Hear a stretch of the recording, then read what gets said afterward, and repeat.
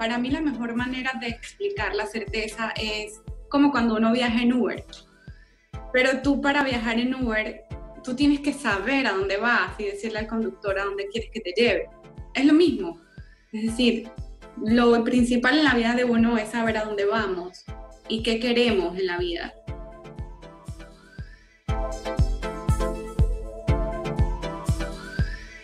Hola, mi nombre es Alfredo Devane y quiero darles la bienvenida a este episodio de Progresando Ando, que hemos creado con muchísimo cariño con el propósito de contribuir en el progreso y la evolución de cada uno de ustedes en diferentes áreas de sus vidas. Como saben, nuestra misión es impulsar el poder del uno, uniendo fuerzas con los creadores de cambio, los visionarios, los perturbados con el status quo y con los que quieren coelevar a una región entera para despertar la conciencia, para que entendamos que unidos somos una fuerza imparable que puede transformar, desarrollar y hacer crecer a nuestros países hispanohablantes.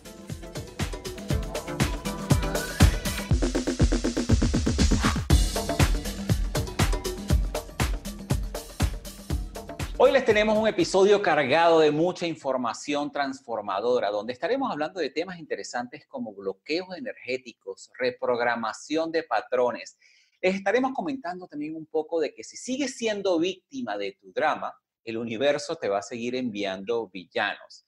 Y lo que sucede en tu vida más de tres veces no es casualidad, es un patrón. También vamos a estar hablando un poco de que debes escuchar un poco más de lo que hablas. Vamos a hablar del síndrome del impostor y vamos a hablar del autosabotaje. Para mí es un placer tener el día de hoy a una gran creadora de cambios, una visionaria, una perturbada con el status quo y con mucha pasión de coelevar a una región. Hoy nos acompaña Zulet Ramírez, CEO de Yo Soy Conexión. Ella es reprogramadora de mente, alma y cuerpo. Zulet, su pasión es ayudar a todas aquellas personas que deseen aprender a manejar su energía, a reprogramar y a vivir una vida llena de certeza y abundancia, para que se puedan conectar espiritualmente y empiecen a vivir la vida que tanto desean. Hoy en día, Zulet ha llegado a desarrollar herramientas que cambian la vida y te ayudan a empoderarte y al mismo tiempo proteger esas almas sensibles, encaminándolas hacia una vida de abundancia y de paz. Zulet es facilitadora de procesos de PNL, ella también es especialista en reprogramación de patrones conductuales a través de, terapias de hipnosis. Ella es especialista en biodescodificación. Tiene un máster en reconexión cuántica. Ha estudiado astrología cabalística enfocada al propósito de vida. Tiene un estudio en encarnaciones pasadas y es especialista en liberación de bloqueos a través de los registros arcaicos. Zulet, de verdad que tienes un tremendo currículum aquí con nosotros. ¿ah? ¿Cómo estás, Alfredo? ¿Cómo te va? Bienvenida. Un placer. Gracias por la invitación. Bienvenida a nuestro programa Progresando Ando.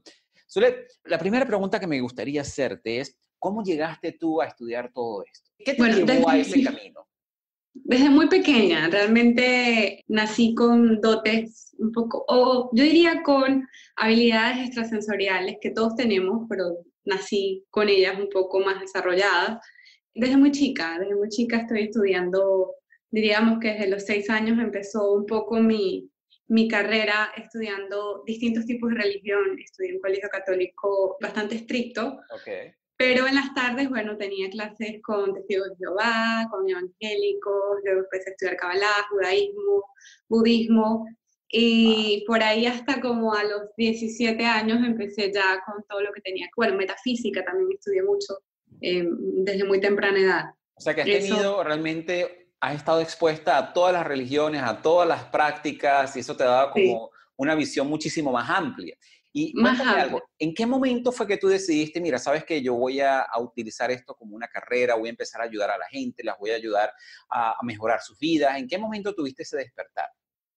Fue como diríamos hace unos 15 eh, años más o menos que yo decía, bueno, tengo estas habilidades un poco de medium, de medium desde muy pequeña y yo decía, bueno, puedo ver cosas, puedo de cierto modo ver lo que la realidad de esta persona, pero ¿qué hago yo solamente diciéndole, bueno, es esto lo que te está pasando? Pero no había realmente un clic, o sea, yo decía, estoy diciendo qué es lo que va a pasar de acuerdo a la energía que está presente en este momento, pero decirle solamente lo que está sucediendo no significa que vaya a haber un cambio, porque la persona igual sale sin la herramienta como para poder transformar su vida positivamente.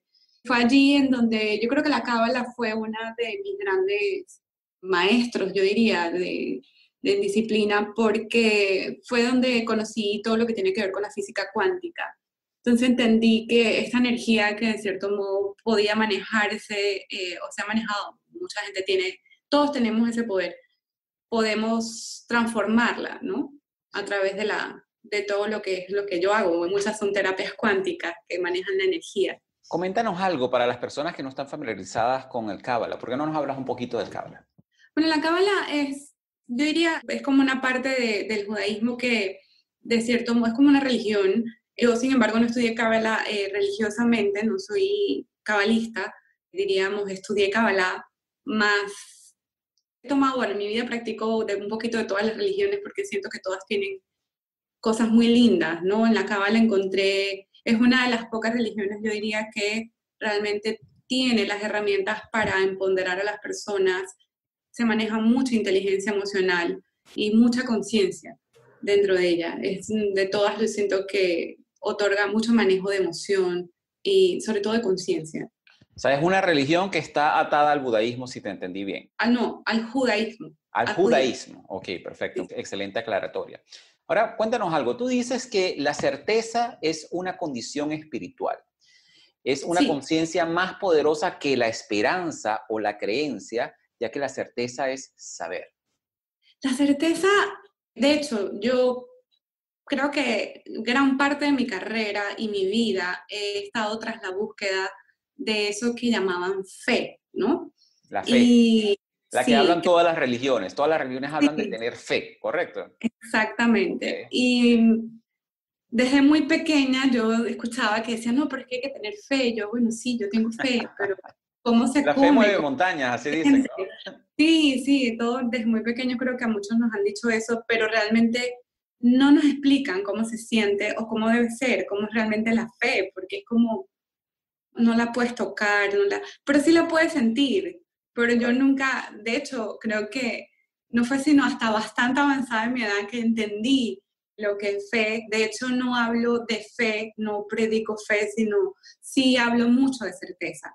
La certeza es la base de todo. La certeza es la columna vertebral de cualquier persona, porque es entender fuera de la religión, ¿no? no ya entramos un poquito más en lo que es la parte científica, diría yo, dentro de la física cuántica, porque la certeza es entender, es esa seguridad de saber que existe una energía que nos mueve.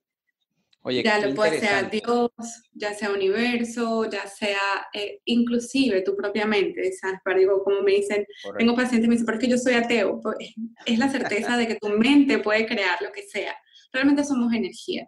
Pero fíjate que hay algo muy interesante, porque ahorita que lo ves desde ese punto de vista, yo no lo había visto. La fe realmente es algo que va a través de cualquier religión. Y realmente en todas las religiones y en muchísimas prácticas te hablan de la fe. Y es, justamente de la manera que tú lo acabas de ver, es, es, esa certeza que uno debe tener de que independientemente de las circunstancias en las cuales uno se encuentre, las cosas van a salir bien es esa certeza de que en cierta manera debes confiar en el proceso. Y nosotros lo vemos también en, me imagino que también estás muy familiarizada con la ley de atracción y todas esas cosas, que muchas veces no necesitamos saber cómo algo va a pasar, pero sí tener la certeza y la fe, como lo hablan las religiones, de que sabemos de qué va a pasar algo bueno para nosotros, ¿no? Entonces, es súper interesante. Depende, depende, de muchas cosas. Realmente, bueno, como digo yo, eso ha sido años de estudio y que definitivamente he logrado entender por qué el secreto no le funciona a todos, eh, las afirmaciones tampoco. Hay mucho detrás de la certeza, es bastante amplia, pero yo lo diría, para mí la mejor manera de explicar la certeza es como cuando uno viaja en Uber. Ok. Pero tú para viajar en Uber, tú tienes que saber a dónde vas y decirle al conductor a dónde quieres que te lleve. Es lo mismo. Es decir, lo principal en la vida de uno es saber a dónde vamos y qué queremos en la vida. Muchas personas ni siquiera saben qué quieren. Entonces dicen, lo único que saben que no quieren la vida que tienen, pero cuando le dices, ok, ¿qué deseas? No sé. No, es que no sé. Entonces, ¿cómo quieres cambiar tu vida si no sabes ni siquiera lo que quieres? Este, detrás de eso, bueno, es saber las emociones y manejo de, para poder, porque definitivamente sin emoción no hay poder. Así mismo. Pero una vez que tú sabes dónde vas, tú llamas el Uber. Tú dices, sabes cuándo quieres, cómo lo quieres, a dónde vas. Esperas que llegue el Uber. A veces el Uber puede tardar 20 minutos, puede tardar 5. En unos casos un poco más extremos puede tardar 40 minutos. O a veces el Uber te cancela. ¿Cierto? Porque no, no estás alineado, o sea, no, no es el momento para ir a donde vas. Pero una vez que tú te montas el Uber es donde yo digo que donde empieza realmente el proceso de certeza, porque cuando tú te montas en el Uber tú no le estás preguntando al chofer y que, hey, ¿echaste gasolina? ¿Y le pusiste aceite al motor? ¿Las llantas tienen aire? ¿O pagaste el panapaz aquí porque pagamos para ir al viaje? Tienes que confiar. tú sencillamente tienes la certeza de que el Señor tiene su carro en perfecto estado y que ese Señor sabe a dónde te va a llevar y que te va a llevar a tu destino, obviamente. Y que te va a llevar a tu destino. Qué interesante metáfora, la verdad que esa es la manera más simple de explicarle a todo el mundo cómo funciona la, parte de la certeza, ¿no? Sí, eh, eso es parte, pero aparte de eso tienes que pagar la data, porque sin la data no puedes pedir el Uber, la data es, es mantener conectado. Para mí la data es cuando tú dices, bueno, estoy conectado con el universo, estoy conectado con esta energía de creación. Porque si no estás conectado, es difícil que puedas sentir esa certeza. O sea, que estamos hablando de que obviamente para tener certeza tienes que saber la dirección en la cual tú vas. Y además de eso, tienes que estar constantemente alimentándote de información que te ayude a construir y a manejar esa certeza y obviamente que te ayude a guiarte en ese camino en el cual tú deseas alcanzar. Oye, qué interesante, jamás lo había visto desde el punto de vista de, desde Uber, yo creo.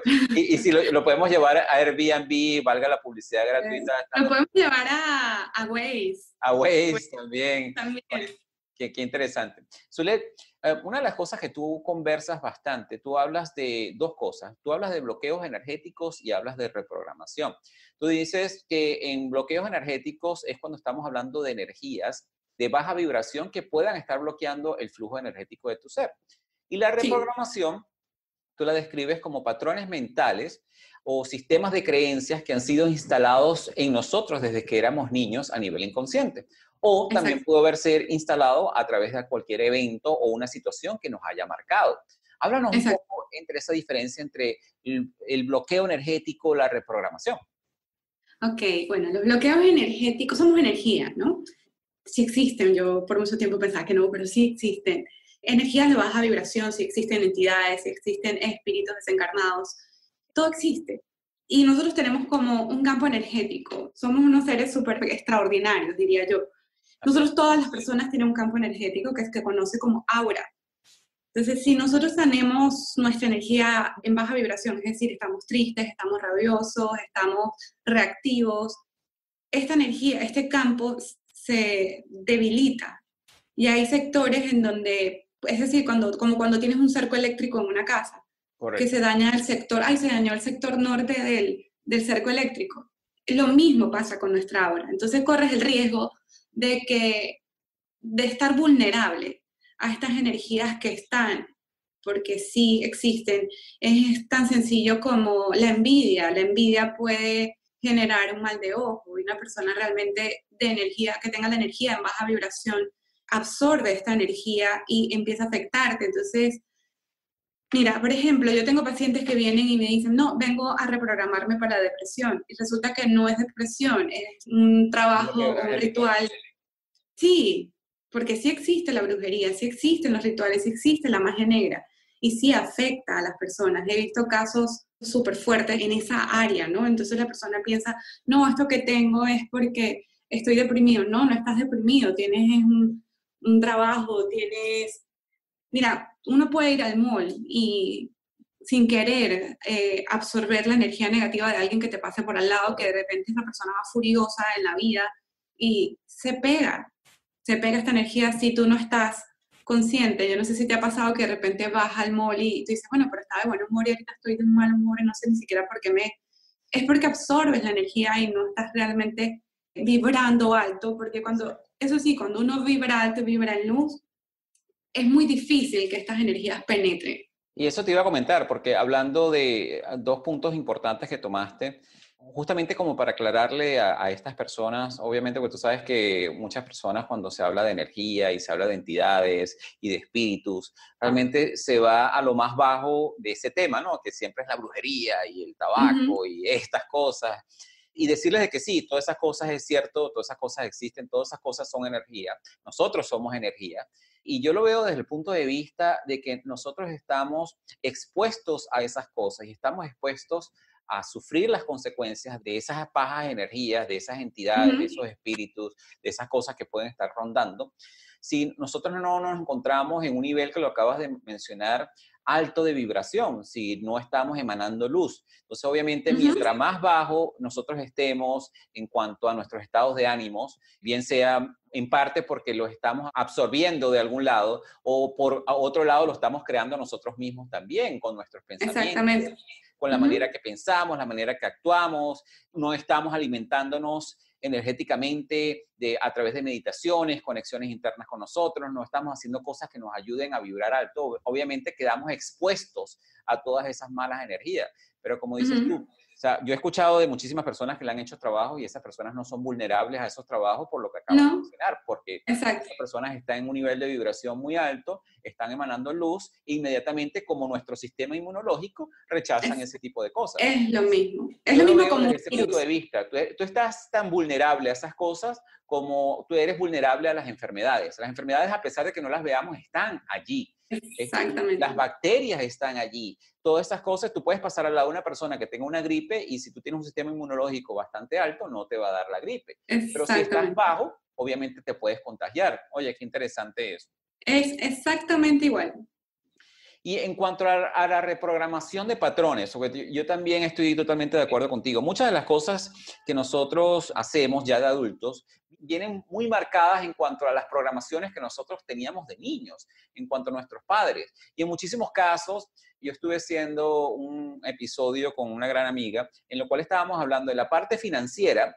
Mucha de esa programación viene de los abuelos de los abuelos, que ellos vivían en etapas de mucha escasez, en temporadas de muchísima escasez, y esa escasez se fue programando en generaciones futuras. Entonces, lo mismo pasa con esos patrones mentales que tú hablas. Háblanos un poco más de eso.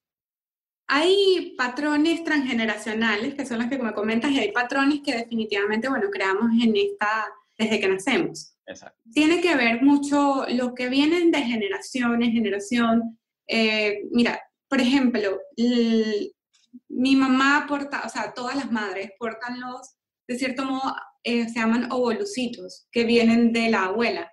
Ovolucitos. se llaman. Entonces, en esos ovolucitos, muchos de nosotros crecimos y ahí nos fecundaron en ese bolsito y ese bolsito tiene energía de la abuela, de las cosas que vivió la abuela. Entonces, muy probablemente, y esta física cuántica está comprobado, eh, que ya científicamente, ya ahorita es más fácil hablar porque ya hay muchas pruebas científicas que están, ya no es solamente temas metafísicos y energéticos no comprobados. En física cuántica hay muchos estudios sobre el tema transgeneracional y la energía que se transfiere de nuestros ancestros a nuestras personas, ¿no? Sin embargo, nosotros somos dueños de nuestro ADN, o sea, no somos como los esclavos de estas herencias. Tenemos el poder y la capacidad perfecta para poder transmutar todas estas cosas que hemos heredado Sí, eh, así es. Eso que tú comentas allí es muy interesante porque incluso no tienes idea de la cantidad de personas que yo he escuchado a nivel de enfermedades, porque muchas personas relacionan el ADN solamente con genética y enfermedades y no lo ven desde el punto de vista energético, ¿no? Y a nivel de lo que es enfermedades, muchas personas dicen que se sienten totalmente sin poder porque alguna enfermedad que viene generacional, ellos saben que la van a contraer, ¿no? Bien sea... Y seguramente que la contraen. Exacto, ella eh, está en el ADN y obviamente, y mentalmente te lo estás programando, obviamente que la vas a, la baja, la Es el que más afecta, es la mente. Porque todos tenemos células cancerígenas, o sea, todos tenemos células cancerígenas, todos tenemos la misma capacidad de desarrollar uno, una enfermedad. Pero si de paso que la tienes, porque todos las tenemos, tú mentalmente dices, no, porque a mi mamá le dio, a mí me va a dar Exacto. Seguramente te va a dar, lo estás decretando desde el momento y estás, o sea, estás creando esa realidad. Porque eso es lo que tú le estás diciendo de cierto modo al universo, qué es lo que quieres que pase, sencillamente se lo estás diciendo a tu mente y tu mente va a, a realizarlo. Es como... Para que podamos ilustrar exactamente ese poder del que estamos hablando. Ahorita estoy recordando una historia, Zulet, no sé si tú la escuchaste. De, había una familia donde ellos tenían la programación de que todos los varones de esa familia a los 35 años de edad se morían, de una razón u otra. Por generaciones, eso era de esa manera, porque estaba tan programado en la mente de cada uno de los varones de esa familia que a los 35 años, de una manera u otra, el varón de esa familia se moría.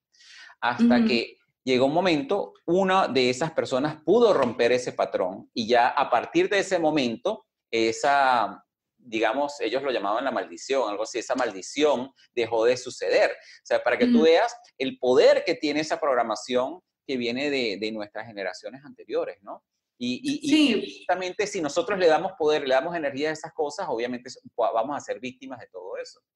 Sí, la reprogramación a nivel consciente es, siempre ha estado como, yo diría, en manos de quienes de cierto modo están como a cargo de la sociedad, porque el, los ve, o sea, por ejemplo, yo veo muy poca televisión porque me puedo dar cuenta de la cantidad de comandos hipnóticos que hay en cada publicidad, en cada publicidad, inclusive, ¿sabes? En, en los políticos, usan todos muchos lenguajes, o sea, usan mucho lenguaje hipnótico porque detrás de ellos hay mucha gente como yo que los está entrenando. Entonces, hay que estar como muy consciente, o sea, entender que si tú tienes el poder de co-crear, o sea, es, mira, yo tengo casos de personas, por ejemplo, una señora murió de 102 años y fumó hasta el último día, jamás le dio cáncer de pulmón, ¿sí me entiendes? Y fumaba de a una o dos cajetillas al día jamás, o sea, ni siquiera le daba gripe, ¿sí me entiendes? Pero tengo, por ejemplo, pacientes que jamás han fumado y tienen cáncer de pulmón y estamos trabajando eso a nivel mental. Tengo ahorita una paciente que ya está saliendo, gracias a Dios, pudo reducir su mancha en el pulmón, ya lo que le queda es un puntito y todo lo ha hecho, obviamente, acompañado de los tratamientos médicos, que es lo que yo siempre digo, no es que van a venir acá a reprogramar y, y van y no. Entonces, ¿Pero por qué? Porque toda su familia había tenido cáncer de pulmón, hasta que ella se dio cuenta que ella tiene el poder realmente y ya está saliendo de eso. Y de hecho, hay estudios en donde desde que empezaron a poner los, estos mensajes en las cajas de cigarrillos con fotos, los casos de cánceres han aumentado. Imagínate. Porque la gente ya la, está programando. Claro, están programando para la enfermedad. Así mismo. Y fíjate que eso es tan cierto lo que tú comentas, porque yo conocí al papá de una amiga. El señor tuvo cáncer por un tiempo, pero en el momento en, el que fue a la cita médica, lo diagnosticaron, cuatro semanas después el señor se murió. Porque inmediatamente cayó en un estado de depresión, un estado de que lo consumió inmediatamente en cuatro semanas.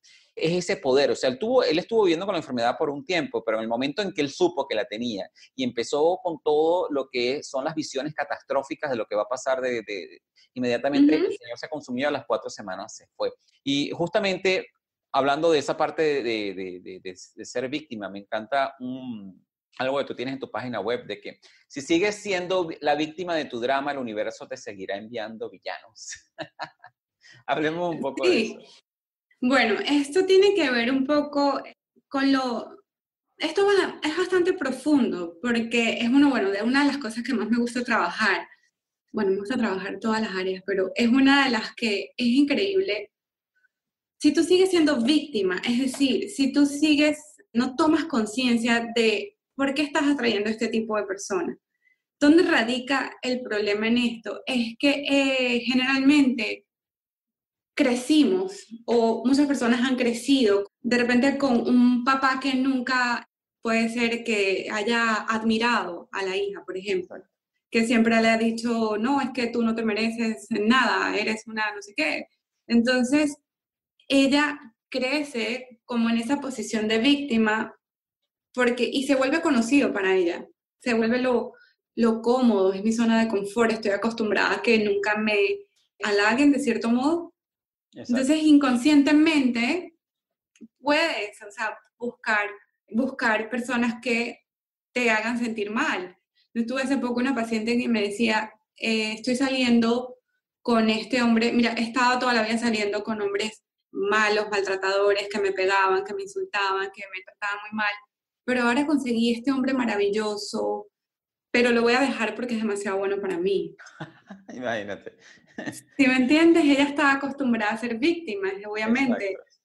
El universo conspira para, como dice, seguir llevándote villanos, seguir trayéndote esta gente que, pero tú los llamas desde esa posición de víctima porque es lo, lo, que conoces, no conoces otra cosa. Entonces allí donde toca reprogramar la mente, toca reprogramar esos patrones y empezar a comenzar a formatear ese disco y instalar software que es donde yo me merezco, me merezco ser tratada, me merezco que me valoren, me merezco que me den regalos, me merezco, si me entiendes, me merezco amor.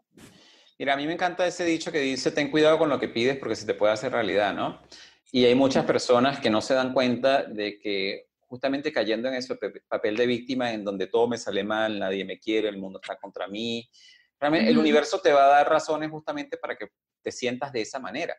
Y en el momento en que tú decides, tú decides, bueno, ya se acabó, que lo, vemos muchísimo en las películas de, superhéroes, ¿no? Cuando ya el, superhéroe dice, bueno, ya se acabó, no voy a soportar más esto, y cambia su manera de pensar, cambia su manera de actuar y, cambia el tipo de información que recibe, esa persona es capaz de salir adelante porque dice, bueno, ya no voy a seguir aceptando ni tolerando esta situación más en mi vida, ¿no?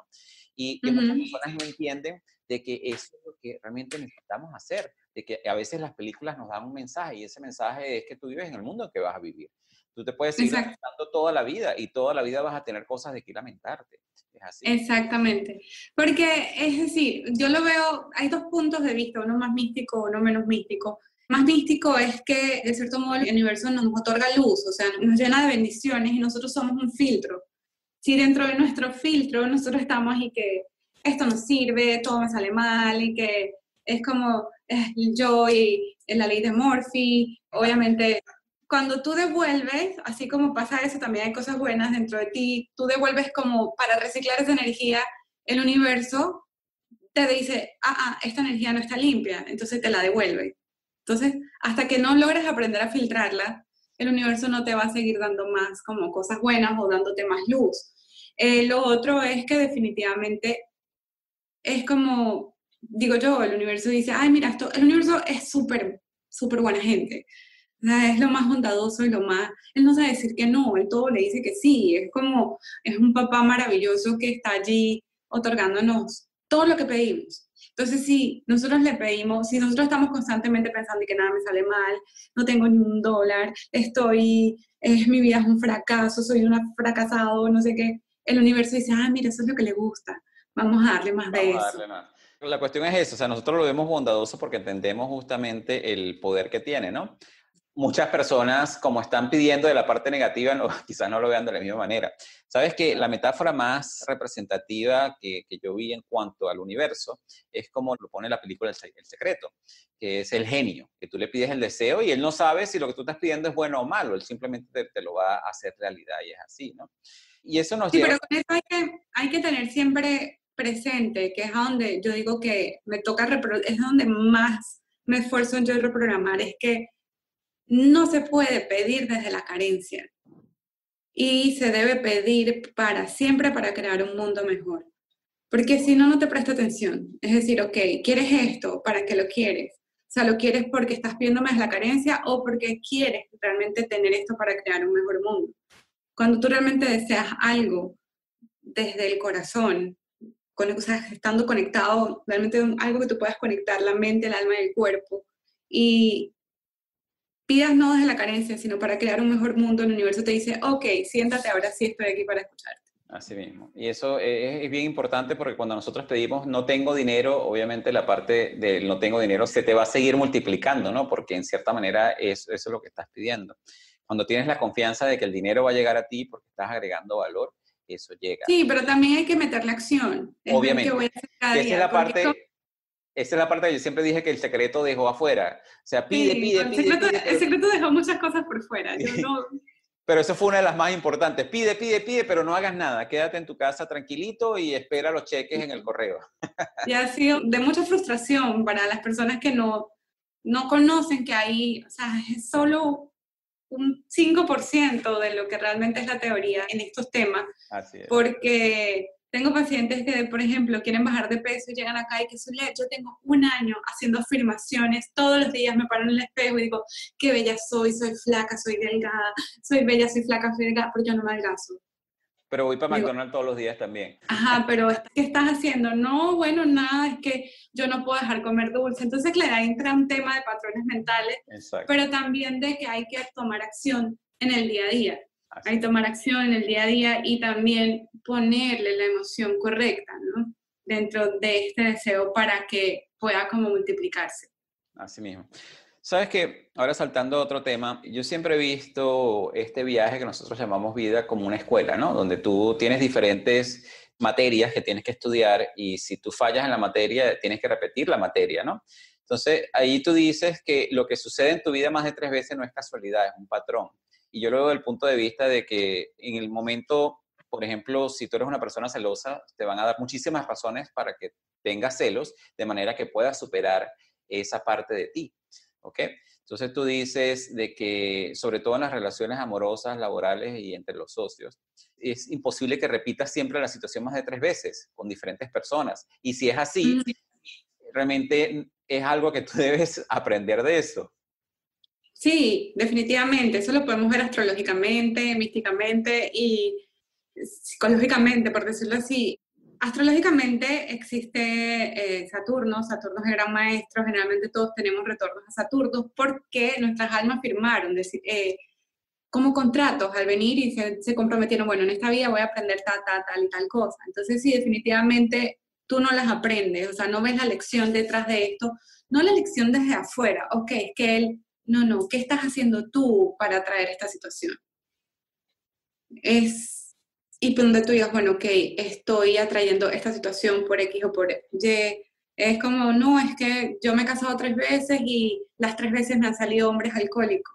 Ok, ¿qué hay en ti que estás haciendo que atraigas esta situación? O sea, no es el otro, ni que es a donde volver. Entonces ahí retrocedemos al, al tema de la víctima. No, es que yo, pobrecita yo, esto es un karma que yo tengo que... No, no, no, los karmas, como digo yo, a mí no me metan ni a la luna, ni me metan a mí al karma como responsables de esta situación. Nosotros somos responsables de, porque ahora hay que no, porque yo soy escorpio, entonces a, las escorpios les pasan esto. Ah, o sea, son energías que están disponibles, pero nosotros tenemos que, ahí volvemos otra vez al tema de la acción.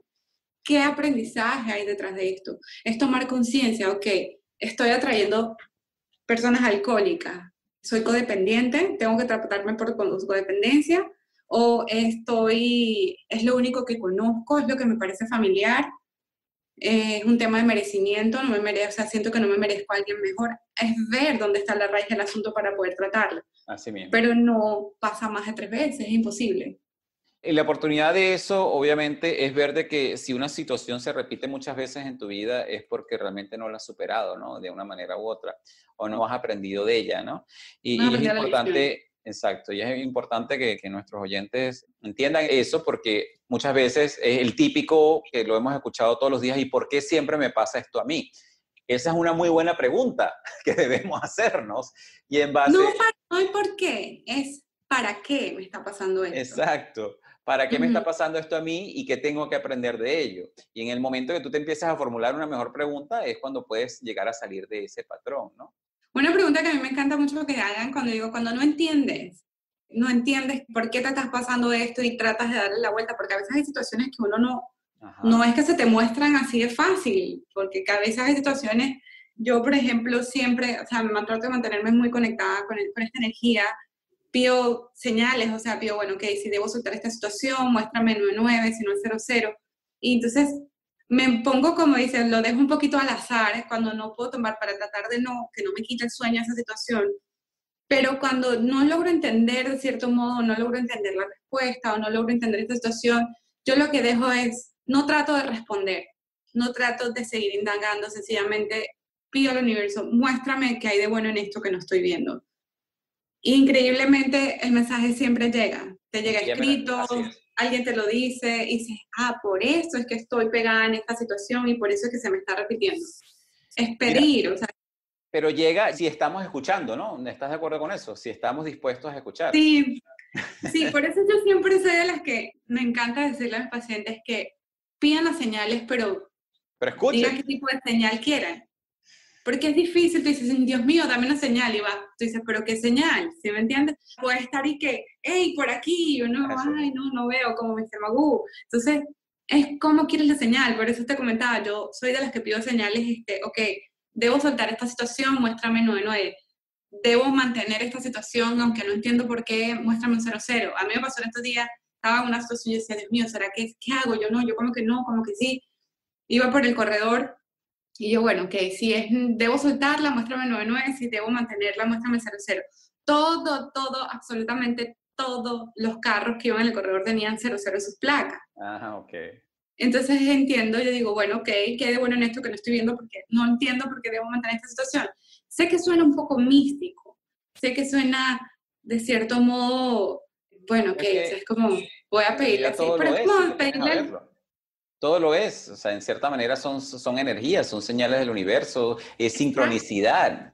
Ahí volvemos a la certeza, ¿entiendes? Sin tener certeza de que existe esta energía universal que, que nos mueve de cierto modo y alivia mucho el alma, alivia mucho la mente, porque tú dices, bueno, que recibir esta señal.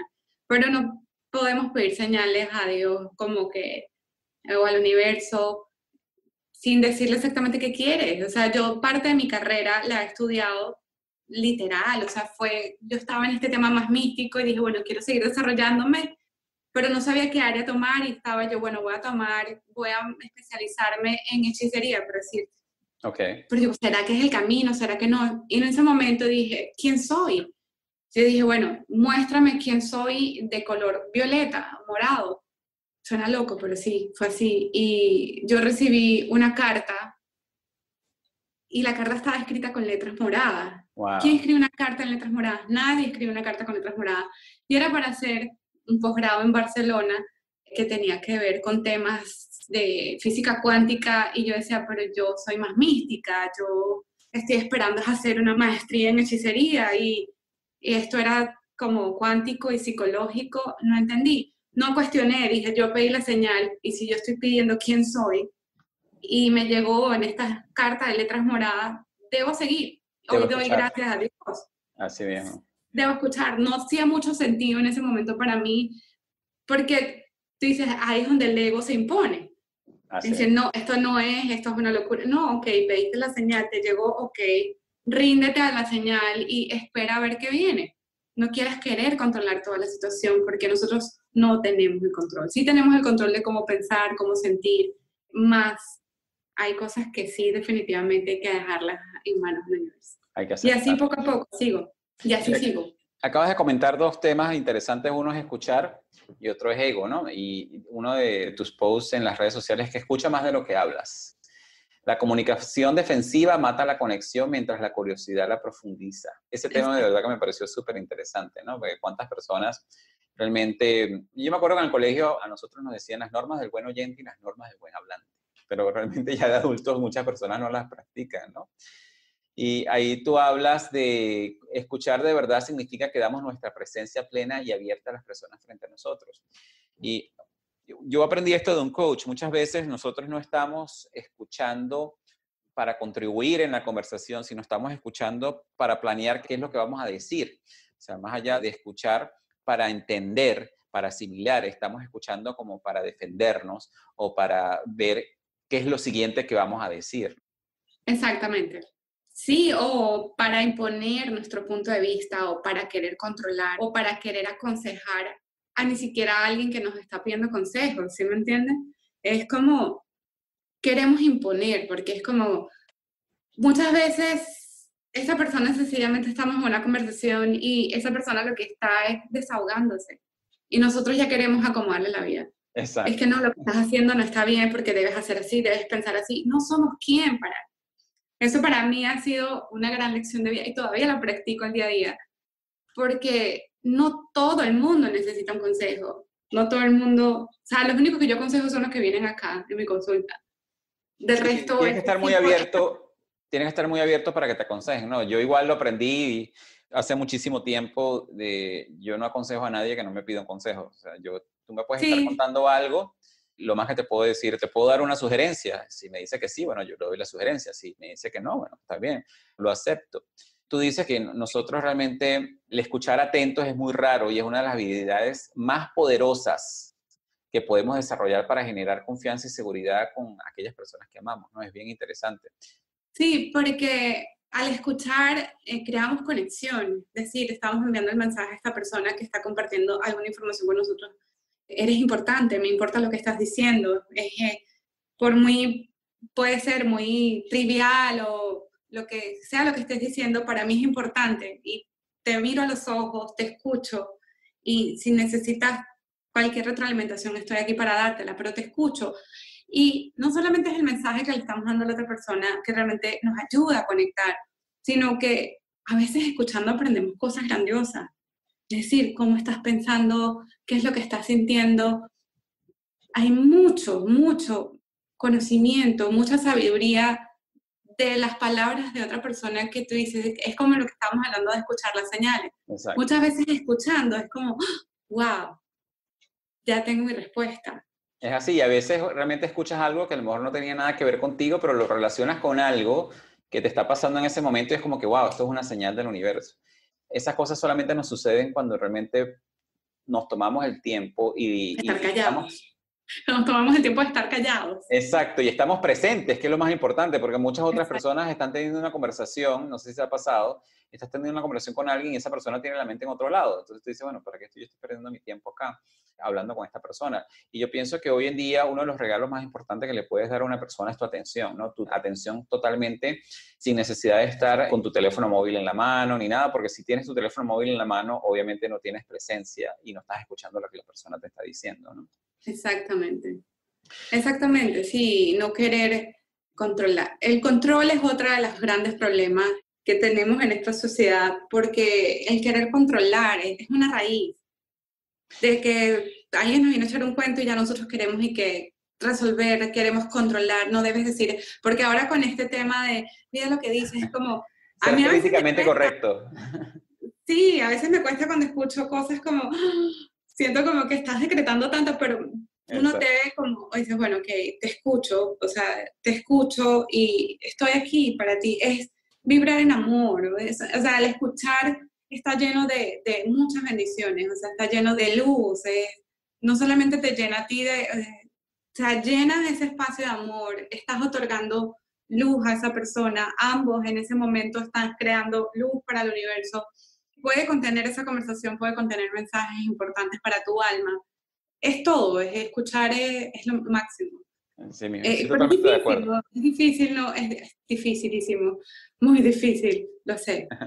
Pero uno tiene que por lo menos hacer un poquito de esfuerzo. Mira, y cumpliendo con lo que le prometimos a nuestros oyentes, tenemos dos temitas más que abordar. Uno es un tema que es bien interesante, que es el síndrome del impostor, y el otro es el autosabotaje. Vamos a hablar un poco del síndrome del impostor. Es un tema que a mí me parece súper interesante.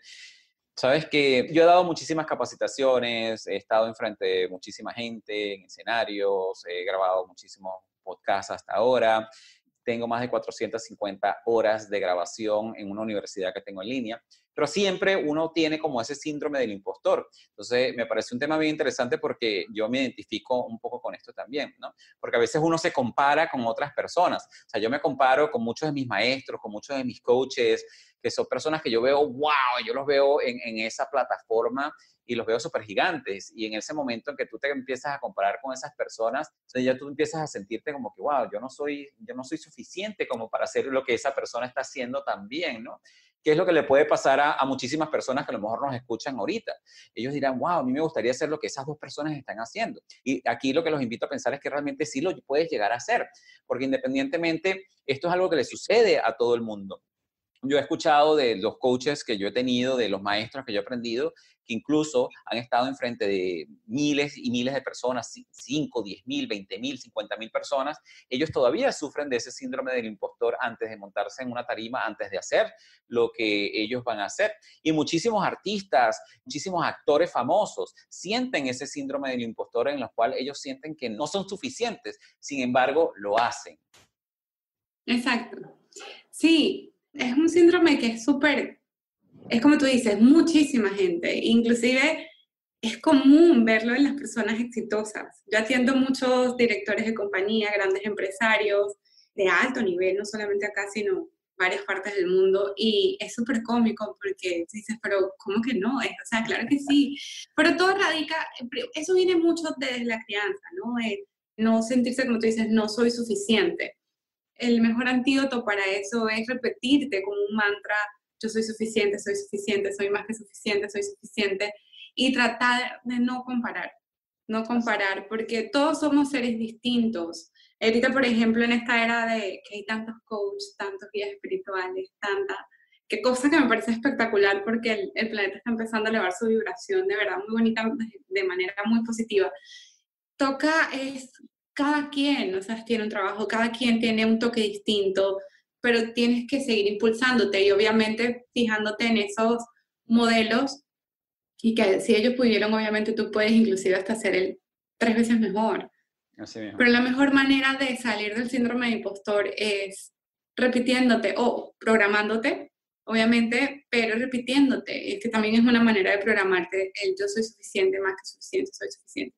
Escríbelo, eh, tatúatelo, ponlo en tu celular que te suene cinco veces la alarma en el día, que diga yo soy suficiente, yo soy Yo lo tengo en el espejo de mi baño. Sí, en todas partes. Como un recordatorio, en todas partes. Sí, por ejemplo, no, yo tengo este, certeza, para mí la certeza, es, lo tienes es la que me da a todo. Sí, y tener la certeza, o sea, es de eso, no solamente el creer que es suficiente, sino la certeza de que sí puedes lograr lo que desees y que sí puedes cobrar lo que quieras por tu trabajo y que tu trabajo tiene valor. mucha gente también, ¿no? Que no sienten que, que, dan ese valor, ¿no? Y eso es parte también, si lo vemos, incluso ese pensamiento de no soy suficiente, todas esas cosas, y cuando nos hacemos víctimas también del dolor es cuando caemos en el autosabotaje. ¿no? Cuando realmente intentamos... A mí una vez me explicaron que el autosabotaje no es tanto el hecho de que el miedo al fracaso, sino es el miedo a tener un éxito increíble y que tengas que estar expuesto. Y eso me pareció súper interesante, porque muchas veces las personas no es que se sabotean porque, mira, porque no soy capaz de hacerlo, sino que a veces se autosabotean porque que el miedo que les da de si lo llegaran a lograr a ese nivel, la exposición que eso les daría. Entonces dicen, no, no, no, no, no quiero llegar, eso es como que muy alto para mí, no, no, no, no, y entran en ese juego de autosabotaje, ¿no? Sí, pues, obvio, el miedo al éxito, que es una de las cosas que sí reprogramo también bastante, es una causa de autosaboteo, pero yo digo, el autosaboteo para mí es miedo a lo desconocido, rechazo a lo que no conozco.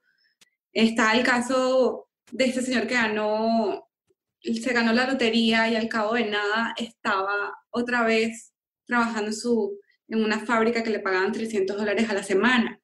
Que eso sucede Sí, pero es porque lo, es lo que era conocido para él. Sabes, todo el dinero que me entra me lo gasto porque eran 300 dólares a la semana, entraron 50 me lo gasto, no, no estoy, eh, no sé, para mí es desconocido a lo que es una inversión, es desconocido a guardar dinero porque es que nunca tengo dinero. Entonces, el, de cierto modo eso es una manera de sabotearte, pero porque no conoces. Entonces, es empezar a hacerte familiar con lo que es desconocido. Es como la mujer que dice, no, que se autosabotea porque ella solamente busca hombres que le peguen. Exacto. Pero su papá de repente le pegaba. Para eso es, de repente tú un papá muy maltratador, una mamá muy tóxica, entonces está acostumbrada y tener otra cosa distinto a eso se siente raro. Entonces sentir otra cosa, tener otra cosa a lo que no estoy acostumbrado puede sentirse raro. Por eso es que yo digo siempre familiarícense con lo que no están acostumbrados. Empezar a visualizar es, o sea, si no estás acostumbrado a viajar y para ti viajar es raro, pueden presentarse mil oportunidades para viajar y te enfermas. Tengo un paciente que le pasaba. Sí. tengo una paciente que le pasaba. Ella toda la vida quería viajar, pero nunca había tenido una pareja que siempre era como, ¿sabes? No viajaba, no sé qué. Ahora tiene una pareja que es, ese señor le encanta viajar y cada vez que ella va a viajar se enferma. Imagínate. Le da algo, se le inunda la casa. volvemos al tema de la energía, porque no es algo familiar para ella, es un tema de que no se siente suficiente, nunca lo ha tenido. Y entonces se empieza uno a sabotear se empiezan a sabotear físicamente, mentalmente, y empiezas a alejar estas situaciones. Pasa mucho, es, por ejemplo, miedo al éxito, miedo al dinero. O sea, no sabes la cantidad de gente que hay, o sea, es impresionante la cantidad que le tiene miedo al dinero y cómo se sabotean. Sí, imagínate. Tenerle miedo a un billete que no hace nada. Sí, pero crecieron escuchando. Sí, claro, no, es, una broma, pero crecen con esa mentalidad de que obviamente alcanzar muchísima abundancia financiera es como malo o tenerle miedo. O sea, ese tipo de programaciones también que vienen desde nuestra infancia, ¿no? Sí, por ejemplo, la religión católica tiene más rápido pasa un camello por el ojo de una aguja que un rico entre el reino de Estás, estás hablando que ha sido una programación con miedo a la riqueza masificada. Sí, no, totalmente de acuerdo. De verdad que ha sido muy interesante. Eso es un saboteo, eso es un saboteo total. No, de verdad que ha sido muy interesante todo esto que hemos conversado. Yo escogí todos estos temas porque me parecieron de que tienen como un enfoque cada uno lo que es el progreso y la evolución de cada una de las personas que nos está escuchando. Una de las cosas que nosotros tenemos para nuestros oyentes en nuestra página web y tenemos, y al final del podcast les voy a decir dónde lo pueden eh, conseguir, tenemos recursos que las personas pueden acceder de cada uno de los podcasts y de cada uno de los episodios y de, de este programa Progresando Ando. Así que con eso, Zulet, de verdad quiero darte las gracias. Esto ha sido un programa lleno de, de, temas muy interesantes y estoy seguro de que le hemos agregado valor a cada uno de nuestros oyentes. Fue un placer de verdad conversar contigo el día de hoy. ¿Algún mensaje que le quieras dar a nuestros oyentes? Certeza. Certeza es el ingrediente secreto para el éxito, para la felicidad, para el amor, para la paz, para la tranquilidad. Certeza. Bueno, y con esa nota les deseamos una semana llena de certeza y que todo lo que ustedes están planeando se les manifieste de la mejor manera positiva. Un gran abrazo. Muchas gracias, un placer.